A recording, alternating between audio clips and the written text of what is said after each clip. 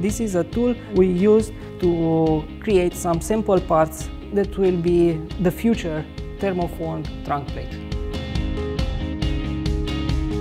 My name is uh, Ștefan Tabacu. I am working for Alseca Engineering, a company located in Bucharest, Romania. Alseca is a Tier 1 supplier for uh, automotive parts. The project challenged us a few years ago to find a lightweight solution for the existing trunk plate.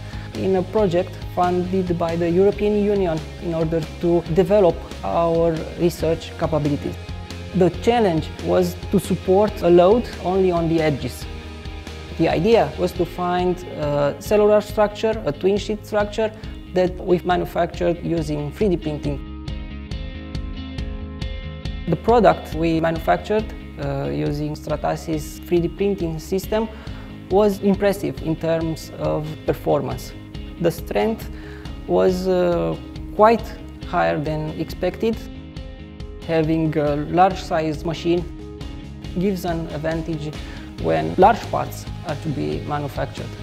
Stratasys 3D printing system allows us to visualize and evaluate the results of the design process.